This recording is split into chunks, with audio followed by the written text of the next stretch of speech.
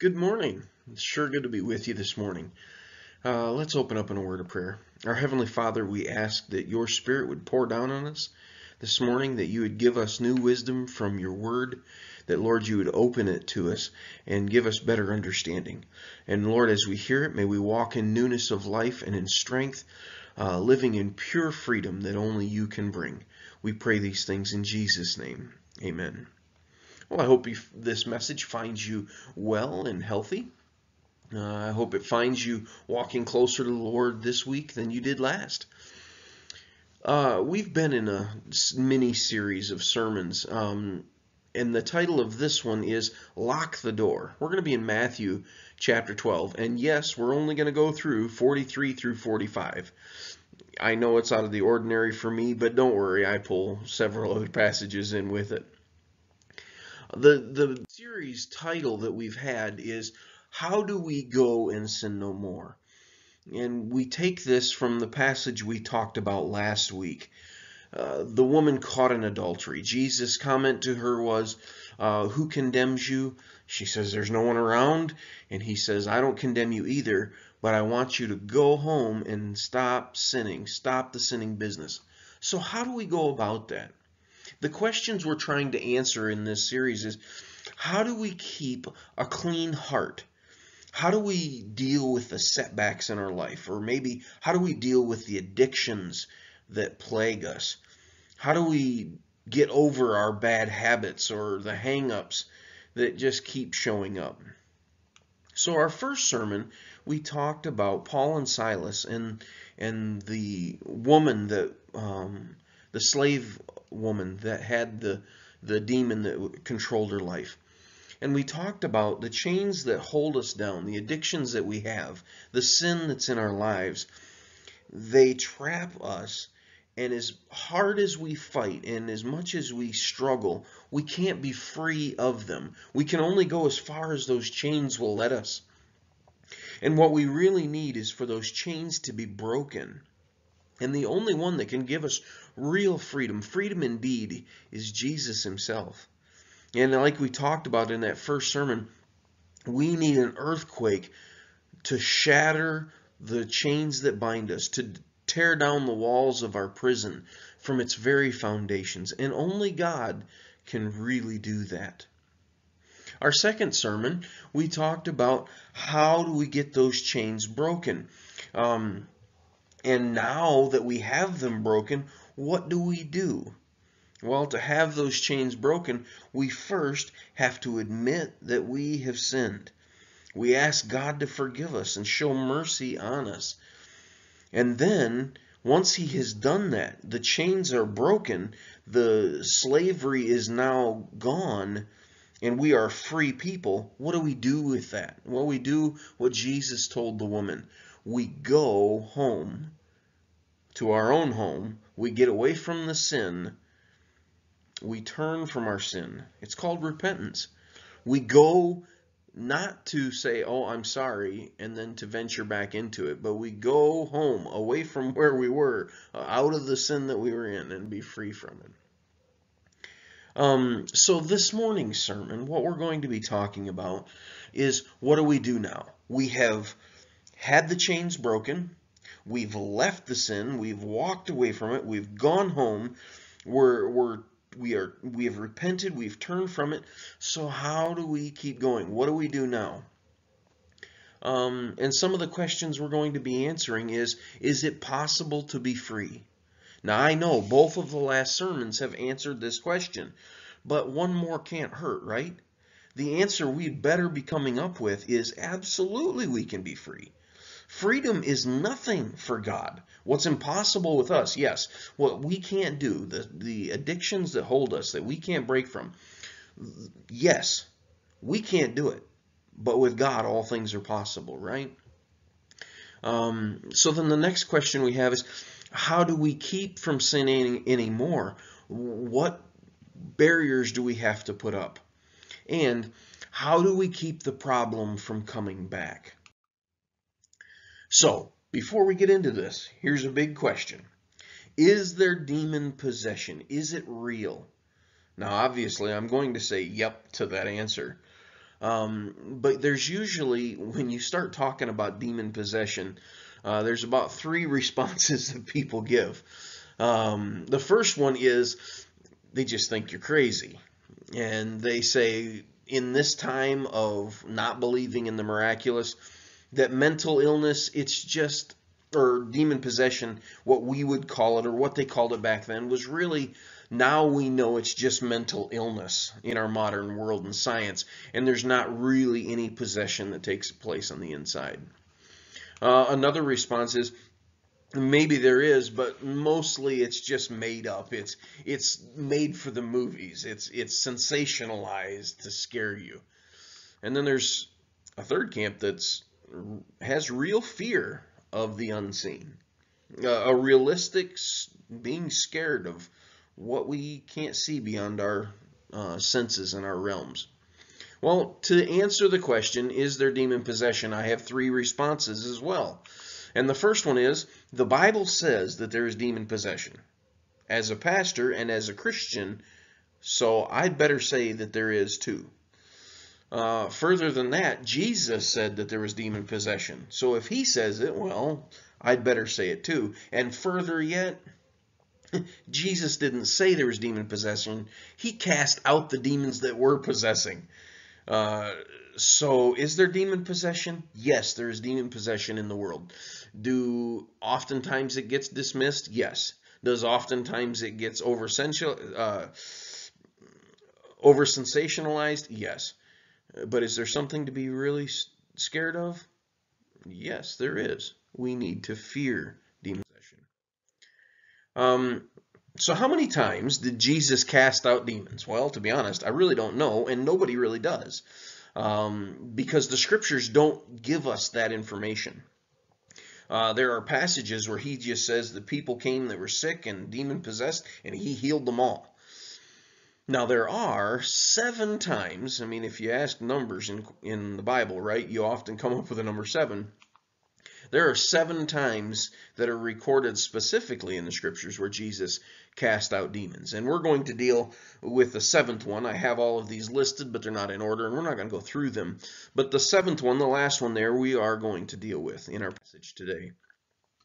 So, as I'm going through this, am I saying that if uh, that you're demon possessed, if, possessed if you have a addiction or a habit or hang up? Absolutely not. Don't take me out of context but I want to show you the correlation because Jesus makes some of those correlations, um, and we want to deal with those.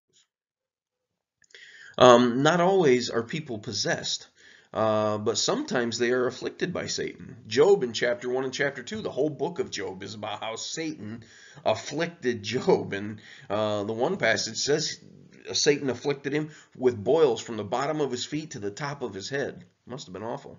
You can also think of the Apostle Paul, right? He said that the thorn in his side was a messenger from Satan to keep on tormenting him. And then another one, Jesus healed the crippled woman. Remember on the Sabbath, she'd been bent over for 18 years.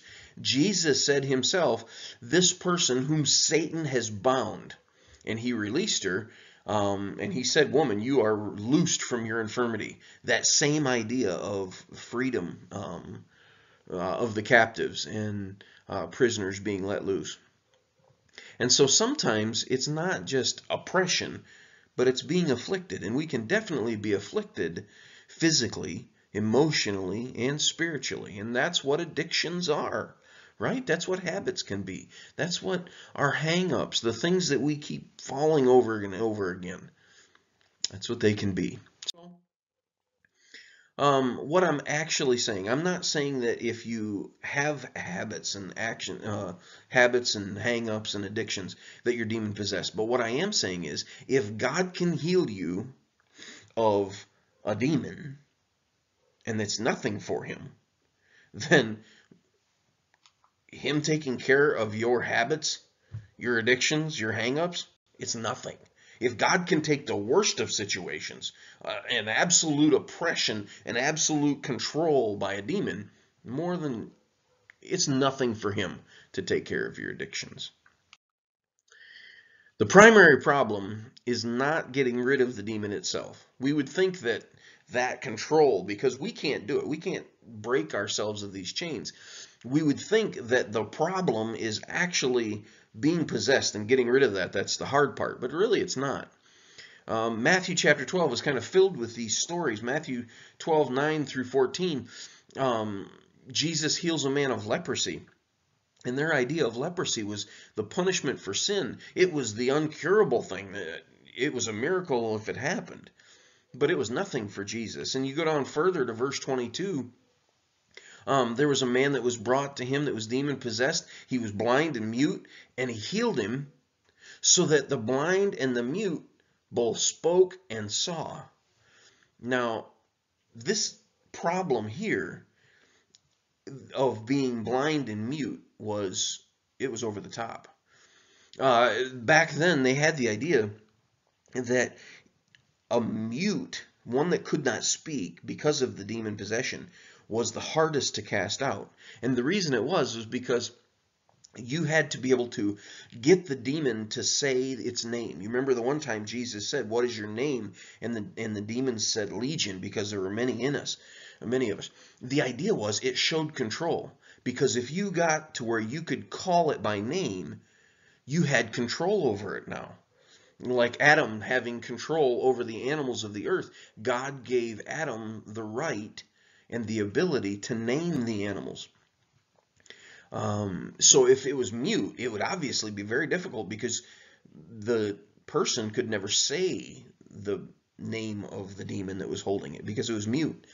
Jesus takes this guy, the hardest of all the demon possessed, and casts him out like nothing. The idea here is if God can heal you, if God can release you from that oppression, there's nothing he can't really shoot from. The problem isn't the initial control. It's not being free of the demon that's the problem. Jesus has that power. Our bigger problem is not getting free. So let's go to our passage, Matthew chapter 12, verse 43. Um, when an unclean spirit, Jesus says, goes out of a man, he goes through dry places seeking rest and finds none. Then he says, the unclean spirit says, I will return to my house which I have from which I came. And when he comes, he finds it empty, swept, and put in order.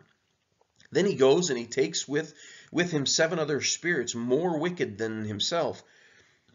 And they enter and they dwell there. And the last state of the man is worse than the first. So shall it also be with this wicked generation. What Jesus in this obscure, this really odd passage, it's just, it sticks out. What he says is your biggest problem isn't being released from it. The biggest problem is being free of the unclean spirit, being free of the addiction. And we know that to be true, right? You can stop smoking for a long time and then something triggers it and you pick it right back up, right? Same thing with any addiction. Um, overeating or, you know, not taking a bath, right? All kinds of things. The idea is the problem isn't getting rid of it. The problem is making sure we stay rid of it.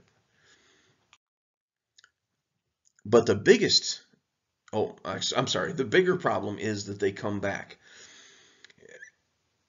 How do we keep the problem from coming back? In this passage, Jesus said, you know, you get rid of him and then the thing wanders around for a while, and then it decides it wants to come back. Well, it sees everything's clean and open. Well, how do you keep the stupid thing from coming back? Problem is, well, we can't. This passage shows us that we can't stop the problem. We can't stop the addiction. We can't stop even the demon from coming back. But that doesn't mean when he comes back, we have to open the door when I was younger, I sold Kirby vacuum cleaners door to door. My goal was to get my foot in the door. If I got my foot in the door, people would let me come in and I'd do my spiel, and they were kind of stuck there. They wouldn't throw me out just because they were nice people. But I had to get my foot in the door. Well, if people didn't want the Kirby vacuum salesman there, they kept their door locked. I don't know how many people I saw peeking through the curtains of their windows to get rid of me. Same thing here. The problem is they come back. So how do we deal with them coming back? We keep the door locked. We don't have to open it back up to them. Our biggest problem, that's a bigger problem. Our biggest problem is staying free of the problems. I will return to the house from which I came. And when he comes, he finds it empty, swept, and put in order. Then he goes, and he takes with him seven other spirits, more than himself, and they entered and dwelled there, dwelt there, and the last state of the man was worse than the first and so it shall be also with this wicked generation. It reminds you of that other demon, the demon um, from the Gadarenes, right? Right? He said there's a legion, there's 600 of us. How many times did that poor man be free of the demon, and then the demon come back with more, and more, and more? Oh, that must have been an awful life. That must have been a terrible life.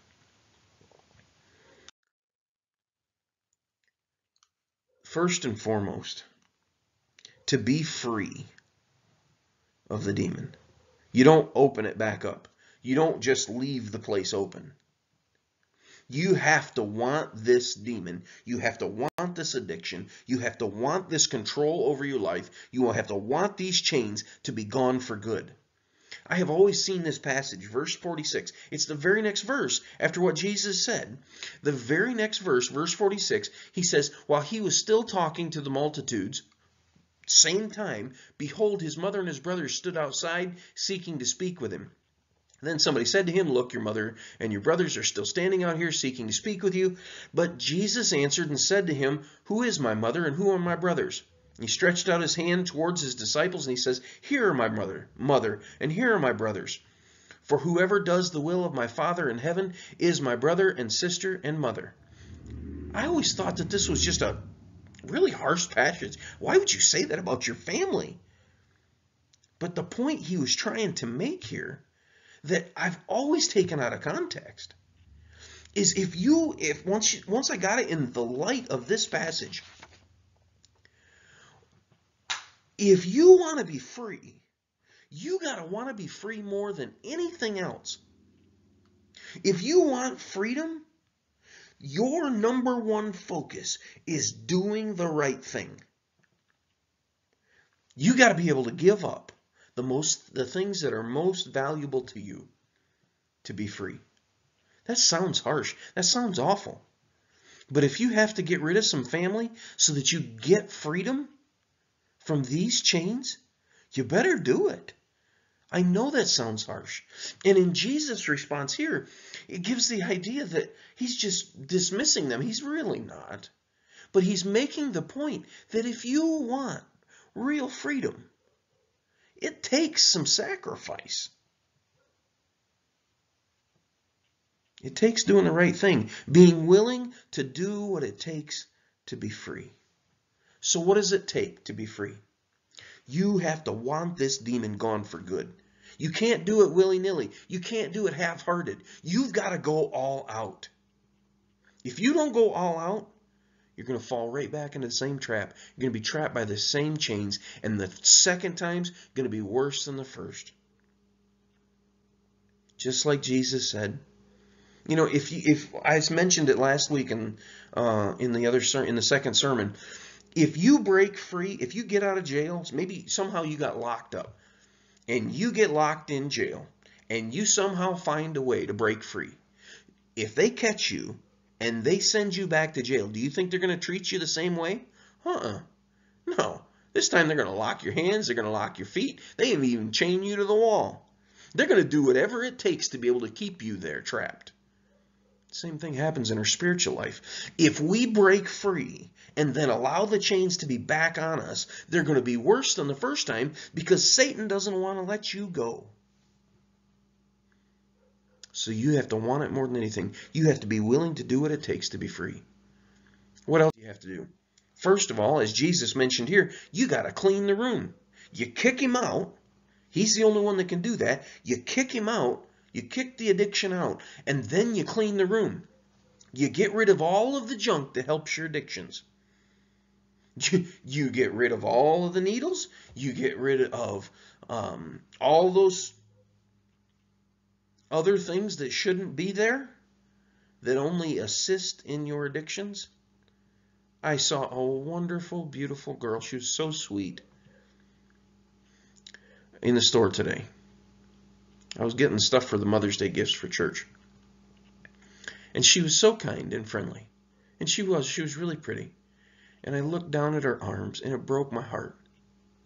Because she had marks all over her, her arm, hundreds of them, where she'd been cutting herself.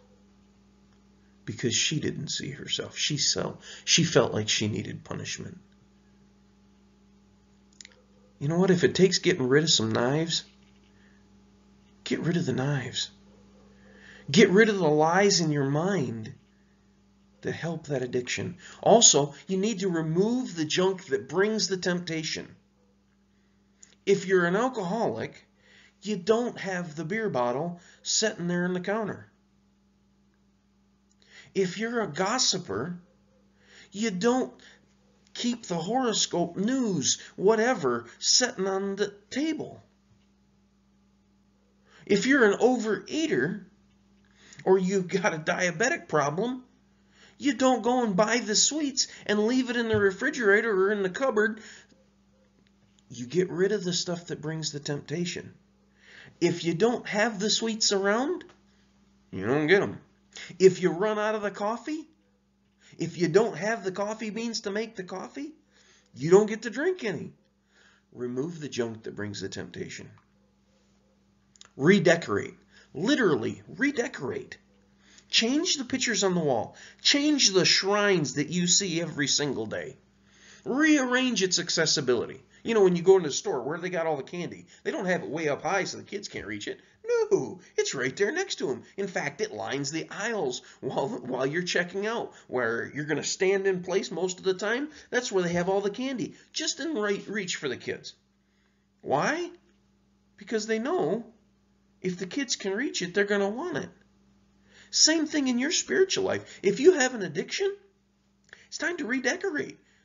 If you have to have the sweets in the house, put them in a place where you're not going to want to reach for them, where it's going to be too much effort to go get them. I, I like candy and I leave it around the house. So I put my candy in places where it's not easy for my children to go get it. They still do, but I try to make it more difficult for them at least. Redecorate.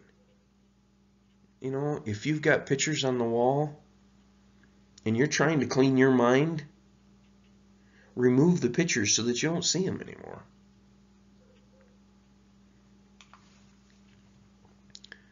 Change the people, places, and things that need to be cleaned out. If there's people in your life that are holding you back from the freedom of your addiction, get rid of them. If there are places that you would normally go in your addiction, don't go there anymore. If there are things that you have, things that you do that hold you to that, it's time to clean them out. Also, lock the door and put the guards there. if you don't want squatters, lock the door of your mind. My idea here is when temptations come, when thoughts come, when ideas come in and they knock on the door of your mind, you kick them off the front porch. You don't say, oh, really, I'd like to hear your idea. I don't know how many times I heard people, when I was trying to sell Kirby vacuum cleaners, say, we don't want any, go away. Oh, don't you see the sign that says no solicitation? No solicitors. We don't want your business. Don't come on my front door. You do the same thing in your mind. You trap those thoughts, those ideas, those temptations, and you remove them. You kick them out. You resist the devil, and he flees, the Bible says. Also, you need to put loyal guards at the door. You know, you go to an embassy They've got walls all the way around the embassy. They've got gates where they let people in and out, but most of the time it's closed, right? And they also have guards, and the guards are standing there well armed to prevent anybody coming in that they don't want there. You can't do this alone. You need loyal people in your life that are willing to help the door stay closed. You need to have people that you can talk honestly with. Tell them the truth. You, you can let them ask you the hard questions. You can give them permission to keep you accountable without loyal guards. It's real possible the addiction will break back in. How many people have we seen that have tried to break addiction and fall to it over and over and over again? But most of all, the point that Jesus brings out here is you don't leave the room empty. You have to fill it with new tenants. You know, the devil can't, the addictions can't, the habits can't come in if it's filled with something else. What does it say? Uh, idle hands is the devil's workshop, right? Isn't that the phrase? Well, if you're so busy that you don't have time to do the sin, you won't do the sin. You may have the temptation to do it, but you can kick them out when they come knocking on the door. You fill the room. You first clean it, then you lock the door, you put guards up, and then you put in new tenants. Change your habits. Change the places that you go. Change the things that you think about. Change the things that you watch. Change the things that you eat. Little by little, step by step, change the habits that you have. If you don't ever make steps towards being free, you never will be. So change the habits that you have. Put new things in your life, in that room, in your heart and your mind that will prevent the enemy from breaking in. Fill your time with important things. Don't fill it with just watching TV. Don't fill it with, with wasteful things. Fill it with useful things, beneficial things. Use it for study and learning. Use it to strengthen you. Going to the gym is a great place to go. Going to the Word is a great place to go. Going to church is a great place to go. You fill the emptiness with important things that are good. Fill the room with good influences. Good peer pressure. You've had bad peer pressure for a long time.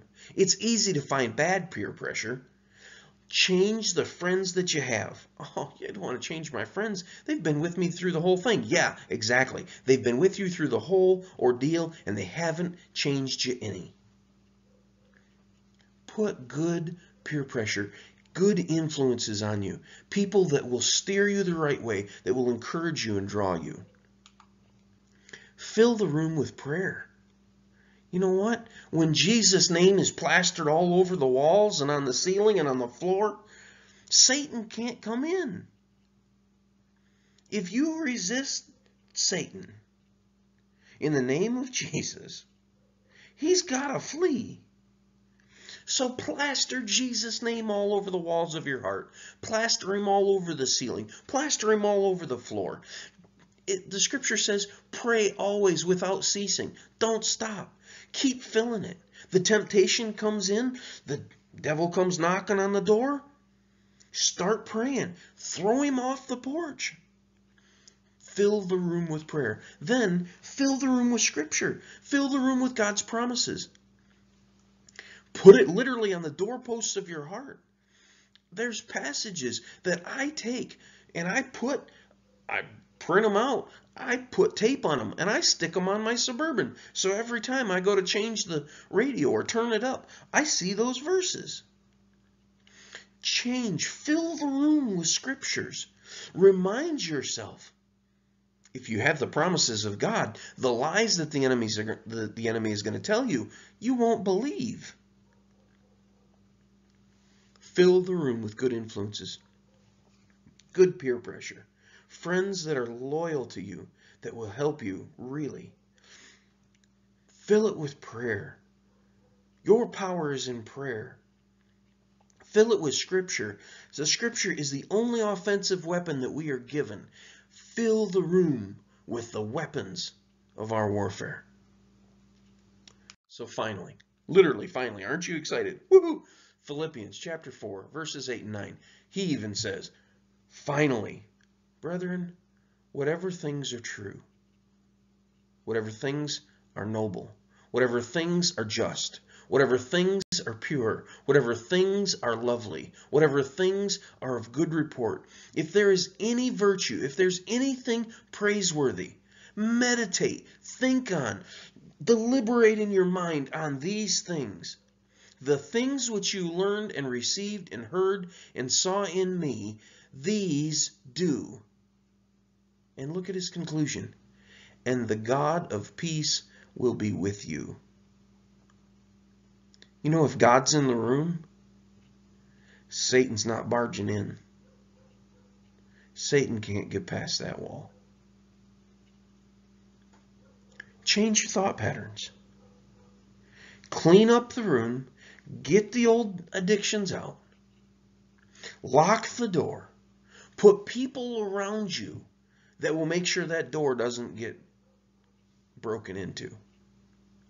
Fill the room with new tenants, new habits, new ideas. You've re-wallpapered. You've changed the looks on the inside. You've filled the place with prayer. You've filled the place with God's word, the scriptures and promises. And you've changed your thought pattern, thinking on the true, the noble, the just, the pure, the lovely, the good reports, the virtuous, the praiseworthy. You've filled this room with these things the addictions aren't coming back. Live out. I, I remember I, back years ago, I was in a company, and one of the things they always said was if you see somebody that you want what they have, you have to ask them about it. Don't ask somebody that doesn't have it. Ask the person that has the fruit on the tree. So if you've got an addiction, a habit, a hang up, if you've got the devil controlling your life, search out people that have had victory over it. Just like the church at Philippi was looking to Paul. The things that you've learned, the things that you receive from them, do them, and the God of peace will live in that room. Let's pray. Heavenly Father, I know this is a practical sermon, rather straightforward. Sometimes it's often a little too straightforward. But Lord, we know the truth of your word. It reigns on this world. Satan would love to say that he controls this world, but he doesn't because you're in control. You're not only in control of the world, you're in control of our hearts. And Lord, we ask if there's anything in us that is a habit, a hang up, an addiction, a sin that we can't get past. We ask that you'd remove it from us, that you'd clean the room for us, that you'd help us to be in repentance, turning away from our sin, and then filling our lives with things that will prevent those addictions and hang ups and sins from coming back. We pray all these things in Jesus' name. Amen.